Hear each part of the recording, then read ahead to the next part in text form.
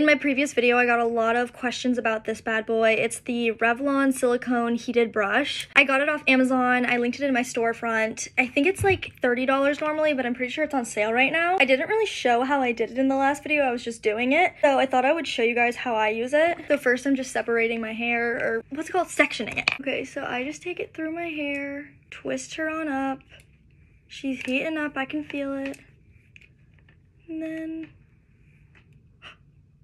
cute. Also, since it is silicone, I would advise brushing through your hair really well before so that none of the little bristles will like get stuck. I really like it because it adds a little something, a little, little something something to your hairdo. And it looks like you put a lot of TLC into your hair, but I don't think it takes very long. Here's how my hair came out. I would probably add a little bit of hairspray or something so that it will stay all day, but it was super easy and I think it looks super cute.